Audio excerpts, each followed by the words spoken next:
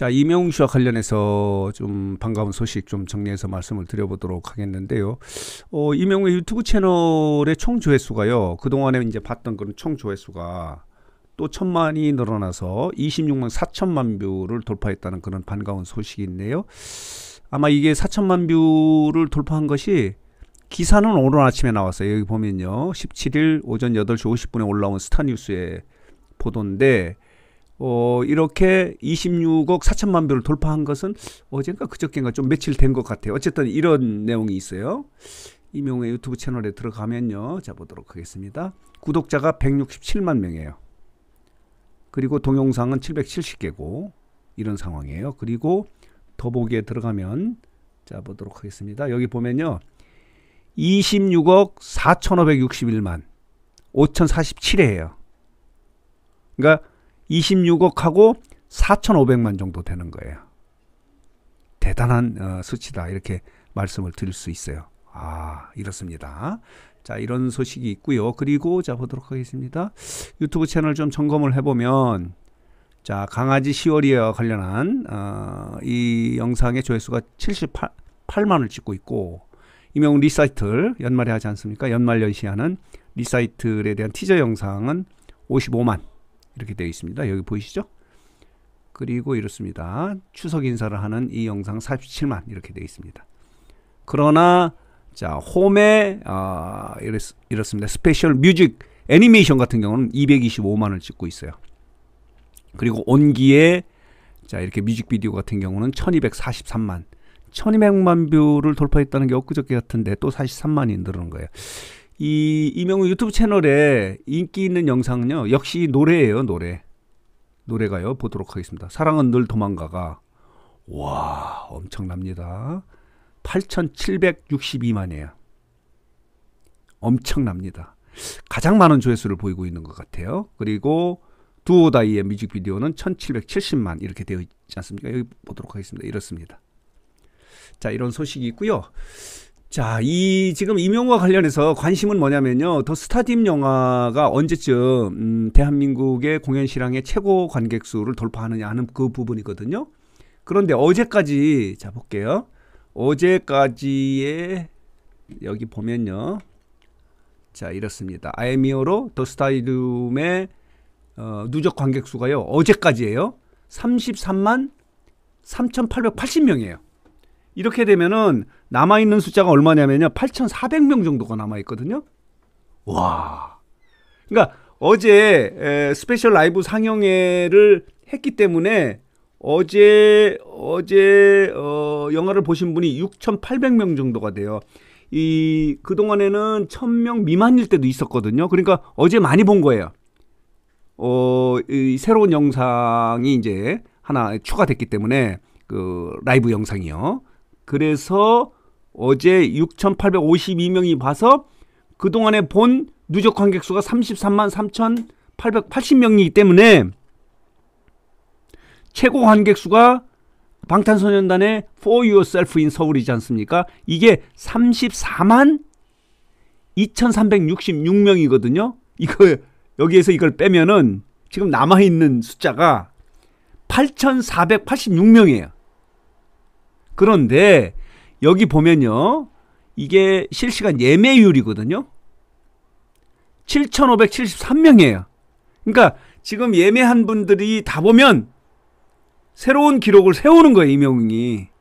그렇지 않아요? 그러나 오늘이 둘째 날이기 때문에 조금 더 늘어날 것 같아요, 예매가.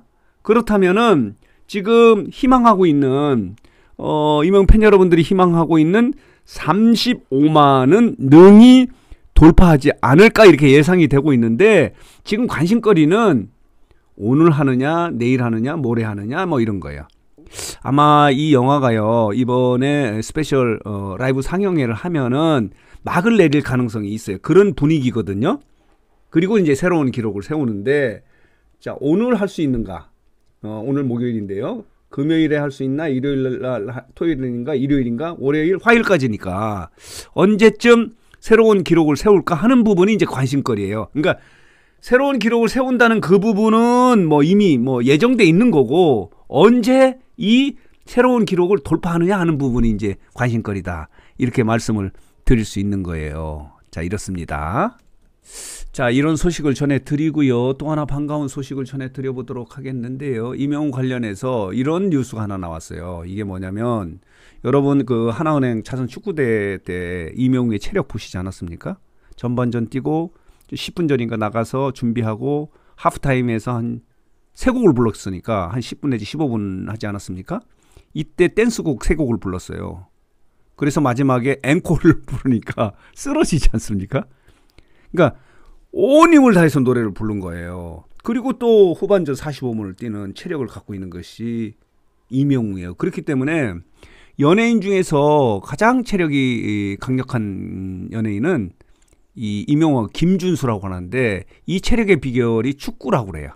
근데 축구가 가장 위험한 게 뭐냐면 부상 가능성이 굉장히 높아요. 격렬한 운동이기 때문에 그래서 부상을 막으려면 이것을 조심해야 된다. 이게 뭐냐면 스트레칭을 충분히 하고 축구를 해야 된다. 이렇게 설명하고 있고 특히 무릎하고 발목 부상을 조심해야 된다. 이 얘기 하는 거예요. 근데 여기서 이 기사가 데일리안이 보도를 한 건데 이야기하고 싶은 것은요. 이명우의 체력이에요. 일전에 인터뷰에서 이런 이야기를 하지 않습니까? 본인은 하루의 일과가 아 인터뷰가 아니구나. 삼시세끼에서 하루의 일과가 노래 연습하고 노래 작곡 고민하고 노래와 관련해서 춤 연습하고 이게 일상이고 그리고 하루에 두시간은꼭 운동을 한다. 여기에 포인트가 있는 거예요. 건강하기 위해서.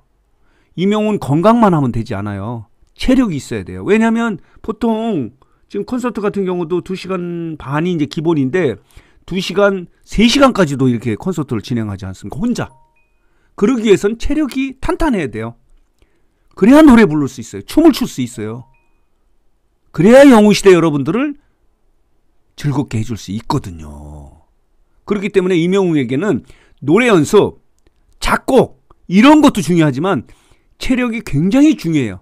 체력이 없는 노력은 필요 없어요.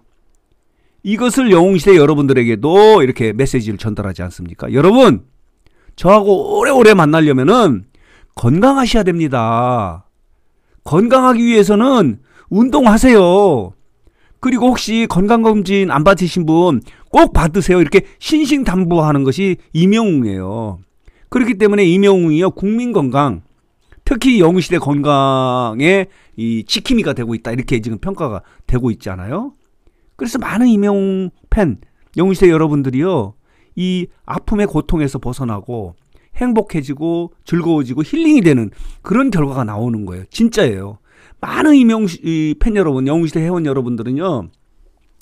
정신적 아픔의 고통에서 도 벗어나고 그리고 이명웅을 알게 돼서 운동하고 뭐 건행, 건행하기 위해서 건강하고 행복하기 위해서 굉장히 노력하는 그런 영웅 시대가 굉장히 늘었다는 거예요. 그게 이명웅 때문에 나타나는 국민 건강의 순기능이다라고 이렇게 지금 해석이 되고 있을 정도로 그런 역할을 하고 있는 게 이명웅이에요. 그렇기 때문에 영웅 시대는요, 이명을 너무너무 사랑하고 좋아하고 반가워하고 감사하고 마찬가지로 이명웅도 본인이 이렇게 상암 콘서트를 할 수 있었던 것은 꿈만 같은 일이었지만 여러분들이 있어서 영웅 시대가 있어서 가능했다고 하면서 무한 감사를 표현하지 않아요?